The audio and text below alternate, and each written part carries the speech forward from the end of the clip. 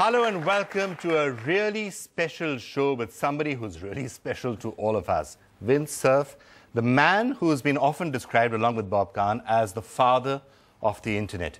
Are you proud of that paternity, by the way, before I move on? well, I've learned something. I have two sons, and one thing I learned was don't take too much credit when they do well, because if they don't do well, you don't want to take too much blame. So um, I would like to point out that although Bob Kahn and I did the original design work, and I have been pursuing internet uh, ever since, a lot of other people had to be committed to make this thing happen. Uh, I'm just glad that I got to be around to start this off.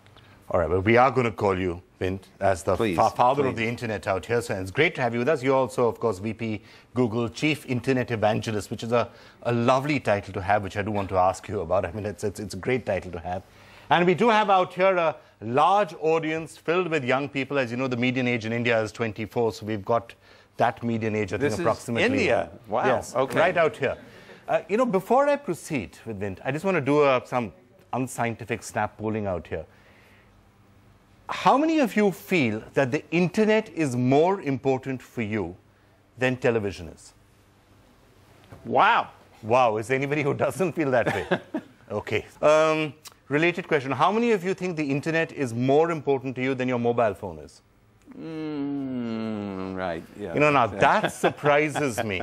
That that surprises That me actually even yes. more. So, all right, fine. Well, wait a minute. So- the mobile phone is the internet if you have a smartphone, right? Theoretically. So, I mean, there we go. Theoretically, yes, but you know, talking, texting, you can sometimes do that without the Yes, internet. okay. All right, so now you can see what you what you started off. This you can see the sort of an impact you made on people's on people's lives. Um, how did you how did you start by working on those protocols that eventually became the internet? Uh, in the 1960s, um, ideas came about for interconnecting computers over networks, and those ideas were different than the way the telephone system works. The telephone system uses what's called circuit switching. It sets up a path and it stays up until somebody hangs up. The packet switched world is more like electronic postcards. The computer generates a piece of data and it flings it into the net, just like the Postal Service, except 100 million times faster. And the consequence of this idea was that you could get machines talking to each other and could speak to many different computers all at the same time by sending packets out to each of them whenever there was a piece of data to go. So we were excited about that technology. The U.S. Defense Department funded the implementation of a network they called the ARPANET.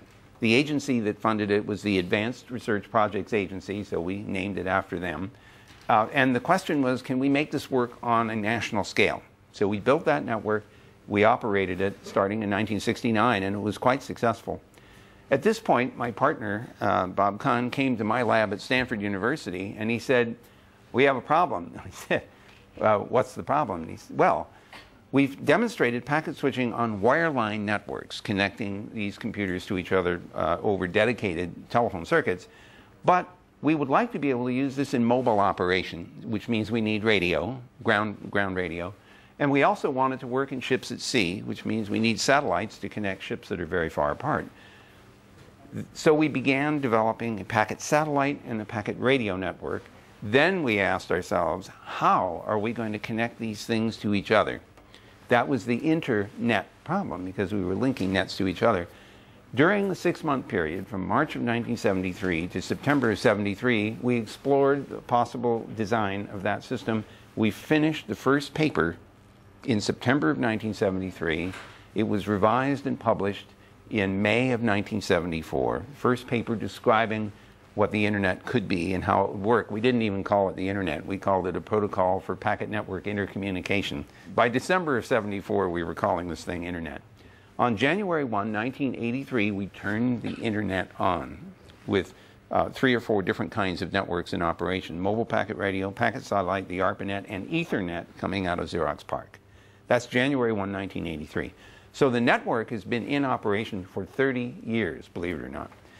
By 10 years later, Tim Berners-Lee invents the World Wide Web, and nobody notices until a couple of researchers at the National Center for Supercomputer Applications, Marc Andreessen and Eric Bina, develop a browser they call Mosaic. This is a graphical browser, one that you can mix images and text together, They released that, and about a million people downloaded that software uh, in uh, actually 1992 or 93 or so. Then um, a company called Netscape Communications is formed and hires Eric Bina actually, and, uh, and Marc Andreessen to make a commercial version. And at this point, when they release the commercial versions, the rest of the world wakes up, notices this, and the dot boom is on. So when you were working on this, I mean, I'm, sure you didn't anticipate what, what it would eventually become, or did you at that stage? Well, you know, the honest truth is that some of this we did anticipate, and I can give you a few examples, but not everything. I mean, it, how can you possibly imagine what will happen when you connect two or three billion people together sharing information with each other? There was a man named Douglas Engelbart who was funded also by ARPA in the early 1960s and he had this idea, which was uh, shared by some of the leadership at ARPA, that computers could be used for something besides computation. It could be used for communication and collaboration. So he built a system at SRI International in Menlo Park, California, on a single computer that he called the online system. It allowed you to create text documents, share them with each other, point to other text documents using hyperlinks, and oh, by the way, he invented the mouse that lets you point to places in the text and interact with it or click on it to go to another document. He built what, in effect, was a World Wide Web inside of one box. That was available to us. We saw that going on at, uh, when we were doing the ARPANET program. Xerox Palo Alto Research Center is a mile and a half from my laboratory at Stanford University. They're inventing the Ethernet in 1973. They're building personal computers at the cost of $50,000 each called the Alto machine, which they've now connected on this 3 megabit Ethernet. Those guys were living in 1972, 20 years in the future. We saw that too. We had a very clear sense of how powerful this stuff could be. But in 1988, I suddenly realized that this is not going to reach the general public unless it's turned into an economic engine that's self supporting, because up until that time, only U.S. government funded uh, agencies and organizations were allowed to get access to it. So if you were a university with a Defense Department contract or uh, from the National Science Foundation, you could get on the net, but not the general public.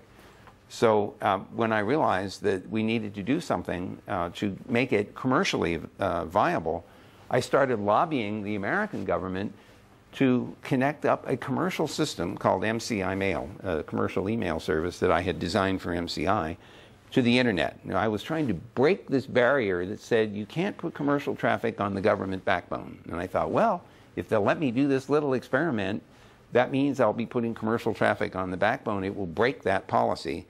And they let me do that. And as soon as we announced that we'd made this interconnection, all the other commercial email services said, wait a minute, wait a minute, they can't be the only ones that get access to this. So they all got connected on the internet. Mm. And what's interesting about that is that before, all of these email services had been completely separate from each other. You couldn't talk uh, across them. But because they'd all been connected on the internet, they suddenly discovered they were interconnected to each other. It was a big surprise.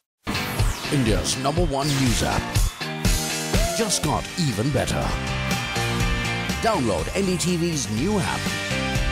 Fully optimized for retina display. Full screen view. Faster response time. And Sudoku. NDTV's new iPad app. Download now.